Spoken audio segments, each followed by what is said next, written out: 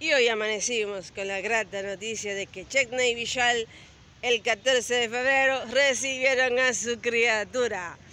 Muy bella y gran noticia.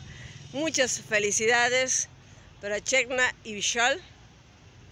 Eh, espero que su criatura haya nacido con toda la salud, que tenga toda la salud del mundo. Ojalá nos compartan un momentico con la bella criatura. Bendiciones infinitas para ustedes, para toda la familia.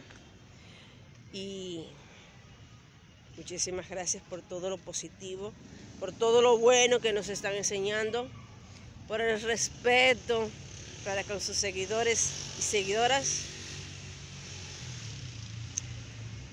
Muchísimas, muchísimas felicidades y muchísimas gracias.